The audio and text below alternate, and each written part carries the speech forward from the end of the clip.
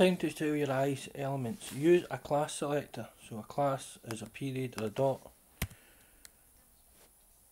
Set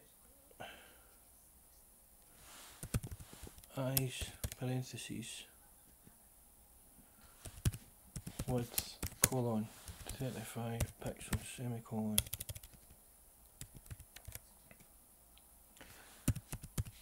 height colon